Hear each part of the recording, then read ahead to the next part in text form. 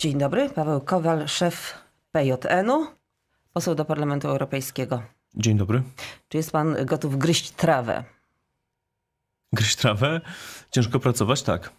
W Polsce trzeba ciężko pracować i jeżeli ktoś chce e, zbudować sensowny program e, i znaleźć zaufanie ludzi, że się uda, bo to, to, przecież ludzie się zgadzają z tym, że trzeba. Tak, ale ja pytam o to, wie pan dlaczego? Ponieważ no bo... komentatorzy porównują czasem pana partię z Solidarną Polską i oni gryzą trawę, a wy nie tak mówią. I dlatego Solidarna Polska właśnie nie wiem, czy ma sukces, ponieważ jest y, y, mniej więcej w sondażach tak samo, na tym samym poziomie co wy, ale jakoś jest tak bardziej widoczna. Bo oni gryzą trawę, tak mówią. Ja nie wiem, czy gryzę trawę. Jestem gotów ciężko pracować. Ciężko pracuję ostatnie lata i e, moi współpracownicy może po prostu... E, może to po prostu tak jest, że duże dzieła wykuwają się w trudzie i potem je poznać. No właśnie, ale czy pan będzie z Jarosławem Gowinem i Przemysławem Wiplerem gryzł tę trawę? Myślę, że tak. Pierwszy ruch należy do Jarosława Gowina. On wyszedł, jest najbardziej dzisiaj e, widocznym politykiem. Pokazał w Platformie, że jest waleczny. Wielu ludzi nie, nie, nie, nie wierzyło w to. Coś zaryzykował. I myślę, że on powinien określić e, jak. Bo co to wiemy? Myśmy dużo razy rozmawiali o tym z Gowinem, e, jeszcze kiedy to znaczy w Platformie. Co? co? Co wiecie? Dotrzymywać słowa przez władzę, niskie podatki, polityka rodzinna, reforma systemu edukacji. Ale co znaczy dostęp dotrzymywać, do dotrzymywać y, słowa Fundamentalna sprawa No dobrze, ale to trzeba być władzą. Fundamentalna... Nie wiem, co pan ma na myśli. Czy egzekwowanie myśli... tego, żeby władza mam dotrzymywała myśli, słowa? Mam na myśli na przykład to, że y, minister finansów mówi, że obniży stawkę podatku VAT, a nie obniża. Mam nadzieję, na na przykład to, że mówi, że już nie zmieni Panie pośle, zasad Ale proszę mnie posłuchać, bo ja pytałam, czy chodzi o to, że wy dotrzymywalibyście słowa, będąc przy władzy, czy chodzi o to, by rozliczać władzę, tak jak pan teraz mówi o Rostowskim, żeby rozliczać, egzekwować dotrzymywanie chodzi słowa? Chodzi o to i o to. Chodzi o to, żeby ludzie głosując na polityków mieli poczucie, że to nie jest żart. Dzisiaj w Polsce się robi, że e, sądzą, że to jest po prostu tylko jakaś tam, e, przepraszam za wrażenie, nawalanka między jedną partią a drugą, a tak naprawdę zrobią co chcą. A na świecie tak nie jest. A rozmawiał pan już z Jarosławem Gowinem po jego odejściu z Platformy? Tak, oczywiście, że rozmawiałem. Rozmawialiśmy o tym, co można razem zrobić. Yy, myślę, że dzisiaj... Raz pan rozmawiał, czy to jest tak, że regularnie się państwo, spoty... panowie spotykają? Ja mam kłopot z odpowiadaniem na to pytanie, bo znam Jarosława Gowina z, choćby w kontekście krakowskim bardzo wiele lat i rozmawiamy często i zawsze rozmawialiśmy często. Tak, oczywiście, że rozmawialiśmy on opuścił Platformę y, tydzień temu. No tak dokładnie mam pani mhm. powiedzieć? Nie, bo jestem, ciekawa, dwa razy. bo jestem ciekawa, jak zaawansowany jest ten projekt. W sensie programowym absolutnie zaawansowany. Bo my wiemy, co trzeba zrobić i wiemy, że nawet jak mówi Czapiński, 8, 10, 2, profesor Czapiński, 12% partia, a na taką partię jest miejsce, jak ludzie uwierzą, że może być w Polsce zmiana. Tylko trzeba ludziom dać nadzieję, że taka partia może w Polsce decydować o kształcie rządu. I my, wiadomo, że każdy, kto ma w głowie poukładane, w Polsce tego by chciał. Jest pytanie, jaką znaleźć formę organizacyjną, czy na pewno dobrą jest forma partii, czy faktycznie to, że PJN jest partią, a nie jakimś no, ruchem, no, raczej, mu pomaga czy utrudnia. Trzeba z tego wyciągnąć Chyba partii wnioski. łatwiej, jeśli już wejść do Sejmu. Jest też taki problem, że y, ludzie mają do partii ciągle mało zaufania i to jest nasze doświadczenie jako PJN-u. Bardzo często na, na, na, na ulicy spotykam kogoś... A jak się mówi... nazwie partię ruchem, to mają więcej? Myślę, że ludzie jak mają poczucie, yy, że nie zaciągają takiego partyjnego zobowiązania, to się Myśli pan, że stąd było powodzenie, wydaje się, że dosyć krótkotrwałe ruchu Palikota? Myślę, że stąd był, na tym polegał też pomysł, ta wielka nadzieja związana z Platformą, że Platforma na początku nie była partią. E, ruch Palikota myślę, że to odrębna sprawa.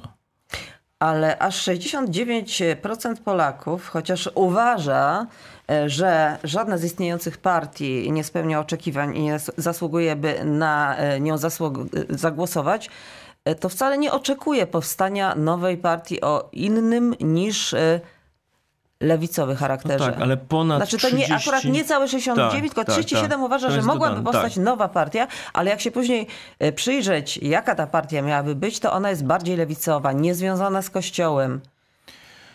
To myślę, że, nie będzie. Myślę, że dzisiaj i wskazują na to, te, te, te, te, dane trzeba jeszcze przeanalizować, prawda?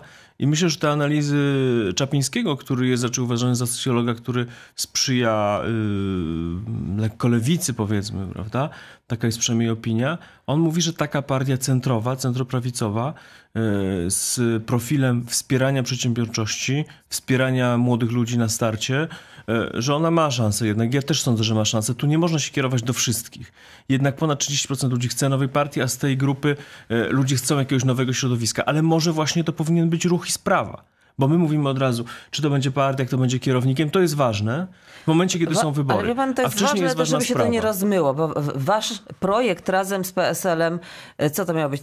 Centrum dla Polaków, No tak, ale tak? to nie była, tam, w tamtym projekcie to są dwie zupełnie różne rzeczy. W tamtym projekcie chodziło o to po prostu, żeby podjąć debatę na kilka ważnych tematów. I no gdyby... i skończyła się po dwóch debatach. No I i to gdyby wygląda nie na odwołano- słomiany zapał, nie? Ja mam całkowicie ten, ten sam zapał ciągle. Przecież mówię o polityce rodzinnej od trzech lat i mam w tej sprawie sukcesy. Czyli co, Może to, nie to ja. PSL nie miał zapału, tak? No w pewnym momencie odwołano jedną z debat i później było trudno zorganizować następną. Ale ja jestem gotów rozmawiać, debatować o tym, co trzeba w Polsce zmienić. To polityk, który ma poukładane w głowie, powinien także z Platformą. Mamy dzisiaj chyba, ja sam mam chyba najgorsze możliwe zdanie o Platformie i wielu ludzi. Ale to nie znaczy, że nie trzeba rozmawiać o Polsce. Jeżeli zbudujemy taką politykę, w której ważna jest tylko moja partia, tylko mój kierownik, tylko mój lider, a nieważne są sprawy i nie usiądziemy do stołu, na przykład w sprawach reformy edukacji, ja w sprawach tego, jak zmienić na przykład e, te ciężkie podręczniki na, e, e, na, na, na to, żeby dzieci miały lżej do szkoły, jestem w stanie rozmawiać z panią Szumilas, chociaż uważam, że jest najgorszym ministrem tego rządu i nie jestem w stanie pojąć, dlaczego premier Tusk utrzymuje to kierownictwo Ministerstwa Edukacji Narodowej. Chciałam w tej rozmowie zamknąć sprawę już waszego ewentualnego ruchu czy ugrupowania. Kiedy można się spodziewać, że powstanie jakiś, może to brzydkie słowo, twór? Moje podejście do tego jest następujące. Gowin wyszedł tydzień temu z Platformy, jest dzisiaj najbardziej widzialną postacią w przestrzeni publicznej, e, ma e, jakby najwięcej... Za chwilę może być niewidzialny. Dzisiaj jest widzialny i chciałbym, żeby skorzystał z tej szansy. I zamierzam go w tym wspierać, Ale nie, nie ma wywierając publicznie nacisku. Zaplecze się zbuduje. Zaplecze to jest, y, to na pewno będą nasze środowiska, zaplecze to będą inne środowiska. Ludzie czegoś takiego oczekują. Tak jak dwa lata temu ludzie na ulicy mnie spotykali mówili, "Mm, może lepiej z tym pisem. Tak teraz spotykają mnie na ulicy i mówią, jednak trzeba zbudować coś rozsądnego. Jednak trzeba choćby małe, ale tak, żebyśmy mieli pewność, że wejdziecie do Sejmu. I jestem zdeterminowany, żeby to robić. Skoro pan jest tak zdenerwowany na panią... Zdeterminowany, z- a. Teraz zdenerwowany, bo mówię o pani minister Szumilas. E, Czy pan ma jakieś takie sygnały, które potwierdzają, że bardzo źle się dzieje wokół ustawy przedszkolnej? Bo niektórzy rodzice mówią, że teraz przedszkola stały się przechowalnią dzieci. Już e, nie uczą, tylko No, tam ktoś o tym decyduje, kto nie ma wyobraźni, nie ma kontaktu z przedszkolem, bo faktycznie było źle, że tylko małe minimum w przedszkolu, tak powiedzmy, małe minimum, było y, bezpłatne. Za wszystko poza tym się dużo płaciło.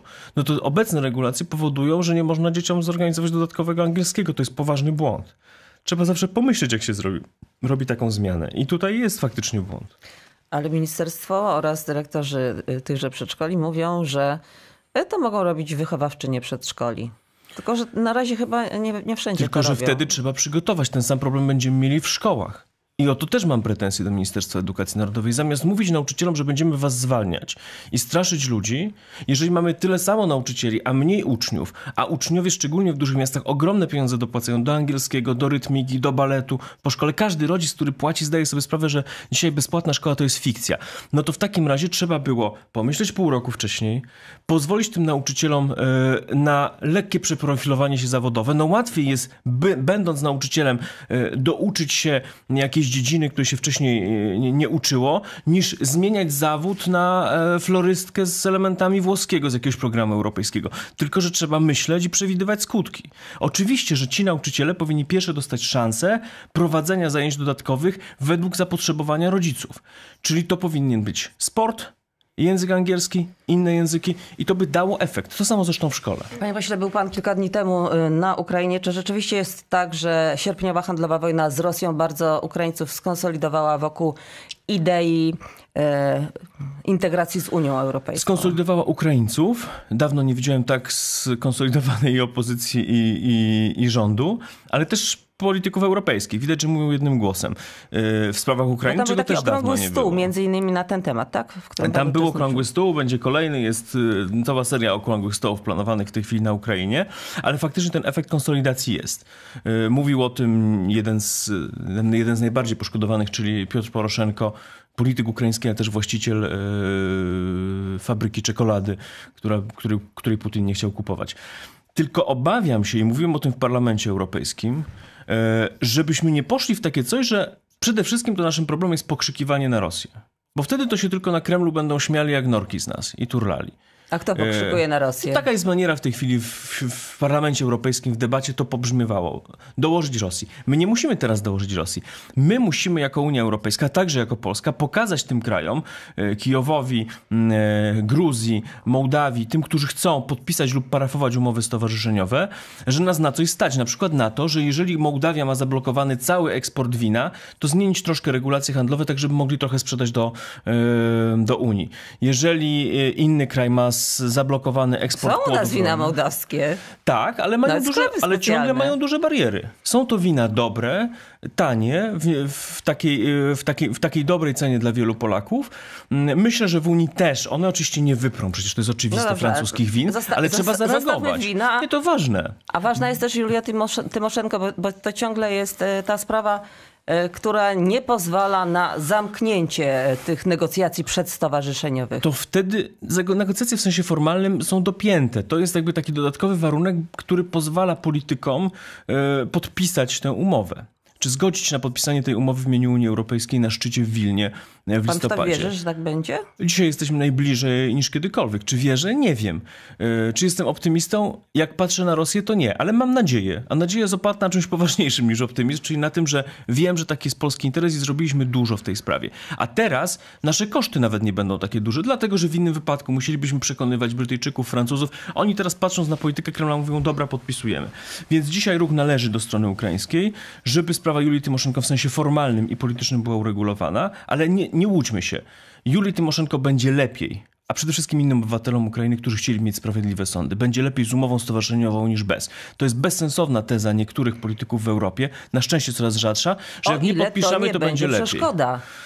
O ile to nie będzie podpisania. przeszkoda. Ale tu jest rola naszej dyplomacji, tu jest rola polityków europejskich, tu jest rola polityków ukraińskich i rządu i opozycji. Już powinniśmy kończyć, ale jedno zdanie na temat e, Syrii. Czy wierzy pan w dobrą wolę Bashara el-Assada, że on rzeczywiście odda tę swoją e, broń po przystąpieniu do, po, po podpisaniu konwencji o niestosowaniu e, broni chemicznej?